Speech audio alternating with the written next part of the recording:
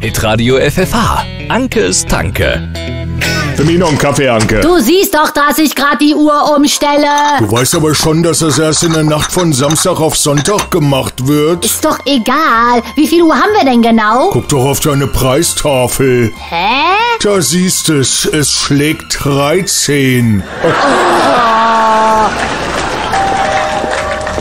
Einmal die 4 und die Funkuhr. So eine hätte ich jetzt auch gern. Bitte? Momentchen mal bitte. Stefan, in welche Richtung muss denn der Zeiger nochmal? Ich sag mal so, unsere Unterhaltung ist kein Vorstellungsgespräch.